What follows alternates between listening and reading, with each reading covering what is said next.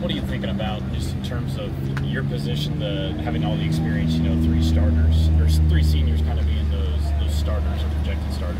Yeah, you know those guys bring a lot to the table. Certainly, uh, experience is one of the things they bring to the table, and we were, we are relying heavily on those three seniors to not only lead us. Uh, uh, they well, first of all, they need to lead us with their play because no one ain't listening to somebody who ain't playing well. so that's that's first and foremost. I know that battle kind of a little bit with, with Jordan and Joe battling for that second D tackle spot. How's that one shaking out? Yeah, so far, I mean, you know, I would say they're probably. Uh, I would say they're probably even. You know, they understand their roles. You know, it's, you know, camp ain't over. We're still competing. Uh, it'll sort itself out here because at the end of the day, just like I've told them, production is what separates you. I know he's, I know he's a young guy, but how's Matthew Polamalu come on for you guys lately? Matthew has flashed. There's a, a, unbelievable potential there, you know. And what I mean by flash, there have been signs of of his ability, mm-hmm. you know. As is common with freshmen, you know, there's a little bit of a learning curve because not only are they not lining up against guys, most guys are smaller than. Mm-hmm. But now all of a sudden you're in the college game. It's very different. You know, you may line up against a lineman who's uh, considerably bigger than you are. So he's had to not only learn our scheme, but he's had to learn the college game. And, uh, you know, he had a really good practice today. Yeah. So Trey Dishon's kind of the, I guess, Mhm.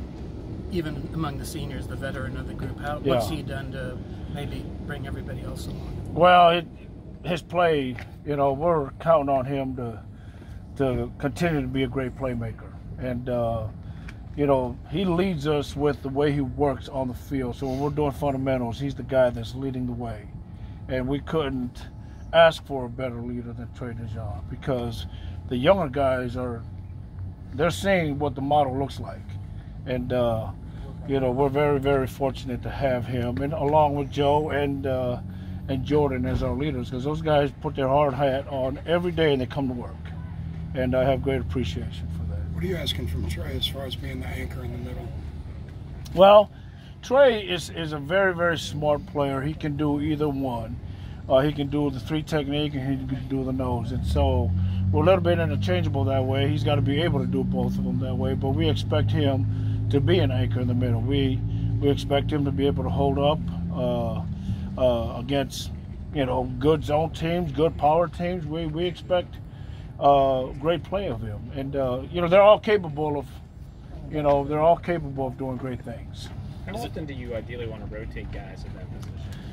Well, you know, uh, you know, it's we talked a little bit about it. You know, they're going to have to play a lot. You know, and uh, uh, I, you know, for a big guy to play seven, eight snaps in a series, that seems like a, a you know a lot of snaps. You know, so you'd like to be able to, you know, get quality. I'm interested in quality, not quantity. And uh, you know, what good is it for him to play 50 snaps a game if you're only getting whatever 20 quality snaps out of him? So my whole thing is, our work is towards quality snaps, playing at a high level, high speed, playing fast, all the above, and uh, that's kind of. You know, to answer your question, maybe it's 30 snaps a game, maybe it's 40 snaps a game, but those guys have got to got to bring quality snaps. In addition to the seniors, uh, who are maybe some other guys that are, are kind of fighting to get in that rotation? Well, you count on a young man like uh, uh, Drew Wiley is, is doing a wonderful job here in camp. Eli Huggins has made a move. You know, he's had maybe he, he quite possibly could have had the best camp of the, the entire room. And then you have a young man like Jalen Pickle who's uh, really coming along, and a lot of it to me is just understanding the play. Because you know, I think uh, Coach uh, Wyatt alluded to, man, that's, those are two different animals. You know, the, the defensive ends and inside tackles, and so. Uh, Jalen Pickles had a nice camp, and we're relying and counting on him to play. Considering the depth that this team has on the defensive line, what kind of things are you wanting opposing quarterback to think when they've got you guys in the schedule? Well, I hope they see that you know we we can get off the ball. I hope they see that we can play and make plays in the backfield. The biggest thing, if I was a, if I was an opposing quarterback, is man, you know when you turn on the tape of these guys playing hard. That's the thing that if I was a quarterback, man, these guys bring it every snap. And so that's the goal. You know, we got to be able to bring it. We obviously got to be fresh to be able to bring it. And, uh, you know, if I'm an offense or a quarterback, I would like, wow, these guys get off the ball. They play hard. They play fast.